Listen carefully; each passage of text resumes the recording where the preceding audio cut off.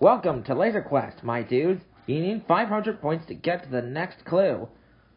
You can grab your gear inside and go forth, questers. Well done, sharpshooters. You took a little while, but here's your next clue. Pew pew!